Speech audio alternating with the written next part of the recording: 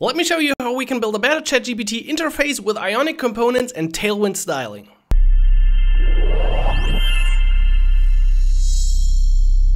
Hey everyone, what's up? This is Simon from Galaxies.dev and today we're trying to make this UI with Ionic components and Tailwind styling because actually there's a bit room for improvement here and we can certainly replicate this very very easily with built-in components very quickly hopefully. So I've started a blank new application and I want to add two pages.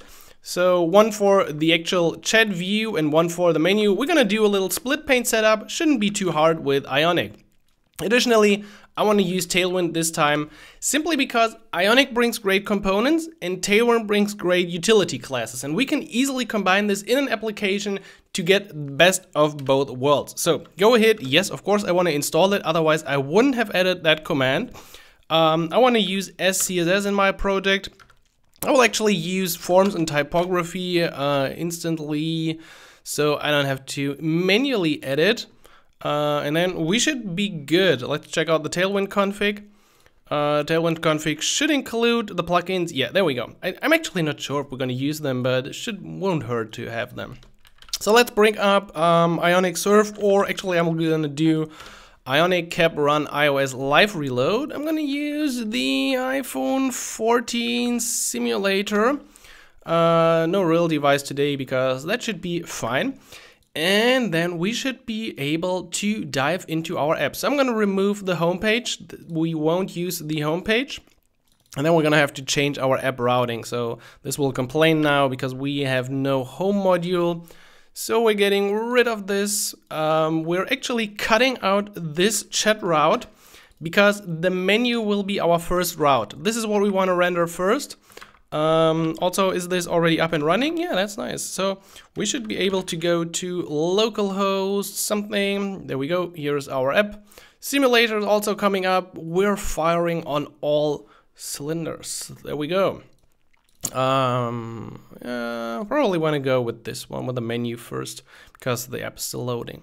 So let's implement our menu. Um, in the menu HTML and in the menu CSS and menu routing, uh, we can implement this. So first of all, I'm going to put in my child route here because that's required for the Ionic menu setup. The only thing we're going to have in here is, let's close this, our chat page uh, let's fix the path and then we already have the chat in here. But actually I'm gonna make it available um, and yeah, I'm gonna make it available at chat and then we can add a little redirect so that we automatically get to that page. Um, let's see. We're gonna add path, uh, the empty path, and then we're gonna add redirect to we actually don't have to say menu chat, we can just say chat at this point, but I want to have a path match full, which means if we come at the blank path here, uh, we're going to be redirected to chat automatically, and that's important to show the actual page of the side menu. So let's add the side menu. Do I have a shortcut for that? Something like a split pane? Oh yeah, there's a, ooh, there's a lot in here. Um, it's definitely not disabled, and we don't really need any of that. I just want to have like the general setup. Um, we also don't really need to supply any of that. You just need to make sure that you have the content ID, the content ID, and on the Ion router outlet, once again, the same ID. Once you have that, uh, what is this? Oh yeah, that's the actual side menu. Uh, menu, let's call this menu. Oh, that one looks, um, I think it's actually right. Uh, only thing is that I just want to have this on small. Yeah. So now chat is covering the full page. And once we get bigger, we have the side menu. That is the split pane setup. Um, if we would use different colors, and we can do this in a second, it becomes even more apparent what we're doing. So let's go to the menu page. And on the menu page, we're going to say that our background, uh, do we want to say it in here? Yeah, let's say um, ion content. Actually, let's use it for pretty much everything. Let's use it for ion content item list and toolbar uh, and use a little gray color. This won't work immediately, but I found that we need to supply this color in two places. So you can also just say on the uh, ion menu or on the actual ion content that we put in here, so where it says start, we could have the class uh, background, what do we use? Gray 900, right? So if I use Gray 900 in here, now it finally works. But it didn't work before, and I think we need to uh, use it in both here and here. So if I comment this out, it will be gone again. But if I only use it in here and not in the page, it's also not there. So I cut this out once again. So we really need to have it in both places to make it finally work. Nonetheless, this will give us a nice little dark background. That's what we're gonna do. Uh, also for the toolbar, so let's use for the toolbar the same dark background and actually I don't want to have a title. So we only have this dark thing going on here. Cool. Now in the content, just like in the ChatGPT UI, we need a button for a new chat and then we need like a little history and at the bottom or somewhere we're to have some sticky area um, with like the user account or something going on. So um, let's start with a new chat. I'm gonna actually put in where we had start before. Uh, so this is our menu area. I'm gonna put in a little button that looks just like this. And this is the cool thing now. I could use an ion button, but then I would have to add a lot of different uh, styling um, to that button to make it look exactly like this. Also, can we do it like in here? Yeah, we already got pull to open, so we can also inspect the app on a device if we want to because of my live reload. And then we see this button is simply tagged with flex. We got a bit of margin and padding. Um, we center our flex items with a little gap between them. So we have a gap between the plus and the text. We're gonna make it rounded. Uh, and on hover, we're gonna have a nice gray background going on. So it also would work nice on the web. We have a duration for the transition. Uh, we have text white, we have the cursor. Uh, and we have a little border using a specific white value. So yes, you might have a saying against uh, Tailwind because this looks horrible, but actually um, I think it works quite nice. So uh, let's go ahead and create our list. So for that list, we're gonna simply use an ion list with uh, items. In that list, we're gonna do it just like this. So here we go, we have our chat one. What did happen? Uh, we have a list with a gray background. Uh, in fact, we don't need this, I think, uh, because we all. Oh yeah, I think we do need it. Yeah, it's the same thing like with the ion content. Uh, we need it in the SCSS and we need it in here. We have a border. Um, we use minimum height and we have a border at the bottom, which is this little thing going on here. Uh, also should look nice on a device. Yeah, there we go. And we have one item. I just made one button inside um, using the router link to our chat, which just opens the chat page. Um, so if I click it, uh, actually I think it won't work yet. Um, so we might have to change that. But again, same settings for the hover. Uh, and then same settings in here, just making it a bit lighter. And we could, of course, easily now get that data from an API and then display this dynamically. Now, at the bottom below this list, we're gonna also display uh, another button which should show something like clear conversation. So there we go. The button is right here, um, just as that. Actually, I think if we check this out on the web now, um, how does it look like? That's actually looking looking fine to me. Otherwise, um, if no, I don't think we need anything else. Uh, our ion content is already covering the full screen, so I actually feel like this is a pretty decent uh, sidebar UI, isn't it? Uh, only thing is that the router is not killing this, so we could probably use an ionic component here again. So um, this is the ion menu toggle.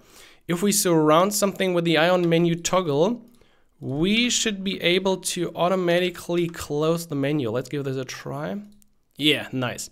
The only thing is, if you use an ion menu toggle with a split pane, you don't get that button uh, when the split pane is open. So in order to fix that, we can say for the ion menu toggle, uh, auto hide false and then it's also visible on bigger screens. And now we have our nice responsive split pane setup already in place. I think this menu looks pretty dope, isn't it? Like if we check this out on a mobile device, it looks so nice. It looks really so clean. Um, now, if we want to have this on our chat page, uh, or if we want to have a button on the chat page, we can easily add to our Ion toolbar, Ion buttons, slot start, and then the Ion E, uh, is it the Ion menu button or is it the Ion menu toggle? No, it's the Ion menu button, right?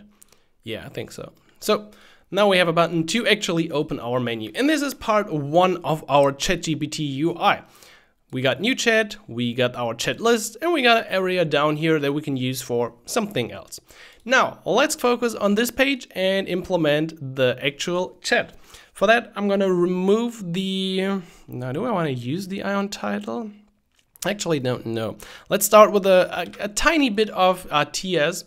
Uh, I just want to have some fake data in here. So I create a little enum if the message is from me or from the system, and then two messages, one from me and one from the bot. Again, you can check out all of this uh, link below the video. And of course, also there's a full course about this and how we can make this dynamic in the Ionic Academy. So if you want to check that out, ionicacademy.com is the place to go for you. We got a fresh new ChatGPT UI course, or it's coming out. Well, no, I think it's actually pretty already there. So Go check it out, Ionic Academy. But here is today some static data. And we're going to use this to create our chat bubbles. So let's go to the chat page. And on the chat page, uh, I'm going to start by using for the toolbar the same setup we had before.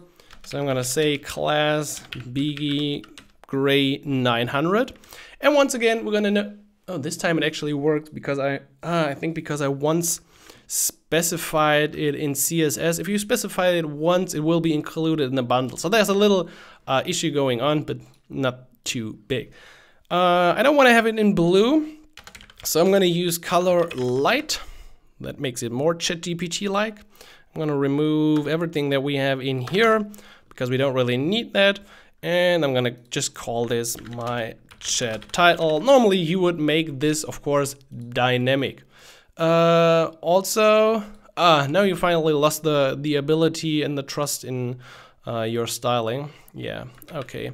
So let's do this. Let's add for the Ion toolbar my dark color.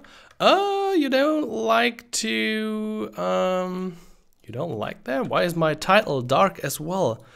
Um, I should probably say text white. Yeah, I like the Tailwind utilities. Once again, you can so nicely combine Tailwind and Ionic. It's just it's a pleasure to work with this. Um, also, I think if you want to be cool, uh, you can go to your app component. Is the status bar all automatically installed? That would be cool. Uh, capacitor status bar is installed, so you can do something cool. Uh, you can use status bar uh, bar dot uh, set style and I want to set this to yeah I always get this wrong but I think this is the right one da da nice. Now we got a white status bar. Oh what's going on here? Uh, is deprecated. Uh, yeah what's the alternative? Um I don't know. Actually I honestly don't know. It's not really giving me any alternative. Deprecated. Use style okay. And we use style, no problem. Okay, that's a new way of using it. I guess this is a capacitor 5 change, however, doesn't affect us really. Okay, we got the status bar. Now we need the chat view and we need the footer, which has the actual, also I'm making this a bit up here. We're gonna start with a footer. Yeah, I think we start with a footer. Um, so where is my chat page once again? There we go. What we can do is we can add an ion footer, just like we would always do if we want to display something at the bottom. And we're going to add an ion toolbar inside to display something. So that shows the area down here. Now, what we want to display is a bunch of uh, divs with custom styling. So this is what we're going to do. We're going to add a text area. In, in general, we are adding a text area and a button. The text area has auto grow, so it can automatically grow. And the button will have an absolute position at the bottom right. So bottom 1.5, right 1. um, or a different value on bigger screens and on hover it will change but once again we won't be able to see this in a real device we can only see this on the web so with that field here um, we surround this with another class which gives us a bit of padding, a bit of border, and some shadow that are defined specifically here. So you can actually, with Tailwind CSS, define your own shadows just like this, or um, just like we used for our custom border, you can use custom values like this. And then you have this nice little input bar in the ion footer, which is of course now sticky at the bottom. So we once again combined component and utilities. And additionally, I don't really like this border. So once again, in that case, we fall back to ionic stuff. So we say class ion no border to remove the top border of our footer and then it is gone. And on bigger screens, it should actually or hopefully be, yeah. So on bigger screens, it's not using the full width. On smaller screens, it's automatically using the full width. I think this is a pretty nice setup. Like this is better than the ChatGPT UI, really. If you check this out on mobile, it feels so much better and more native than the actual ChatGPT UI. But we're not yet finished with this. We still need the messages part. So for the messages, we just need to check is the message from us or from the system and then we probably want to include some assets. So let me bring in some assets. So here are two assets, a bot image and Simon image. And now within the content of my chat page, I'm going to check and iterate the messages if the message is from uh, the current user or if the message is from myself I want to display the one image or otherwise the other image. They were going to be uh, a fixed width and height, so just pretty small. And overall, the message is just using a flex layout with a gap, some border and a gray text. And as a result, we get this nice simple view right here in our chat input. We got the sticky footer, so I can scroll this area and I can easily add more messages. Can I actually do, can we do this for as a test? Uh, let's just copy this. I hope I'm not breaking this, but there we go. We have a chat area with some text. We have our side menu that we can pull in. And we got our uh, sticky footer element down here. And I think this UI is actually better and works better than the official ChatGPT UI. And we've achieved this by using Ionic as sort of the general architecture and the components for our app, the split pane, the side menu setup, and everything that works automatically. And then we've added Tailwind CSS to get this little additional touch to make this really awesome. Um, to have the dark uh, areas, to have the dark background, to have the flex layout, to have little border, to have little shadows. And I think this is the real value if you want to use Ionic and Tailwind together. Let me know if you enjoyed this quick video. You can find the full quick win on the Ionic Academy link right below the video. So available for all Ionic Academy members. And if you're not yet a member, go check it out. It's definitely worth it. The best place and the way to learn Ionic really fast. So hope to see you inside. Leave a like and subscribe for more videos and I will catch you in the next one. So until then, happy coding, Simon.